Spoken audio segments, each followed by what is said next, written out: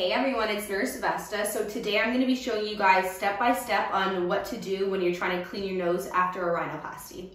So our first step is going to be our nasal spray. After you're done using the nasal spray, you're going to proceed to use peroxide on the dry blood with a Q-tip and a little bit of peroxide, and then you're going to finish it up with polysporin. You're going to want to keep your head over the sink just like this, and you're going to go to spray once, then you're going to spray twice. Step two, you're gonna take your Q-tip, we're gonna dip it in the peroxide.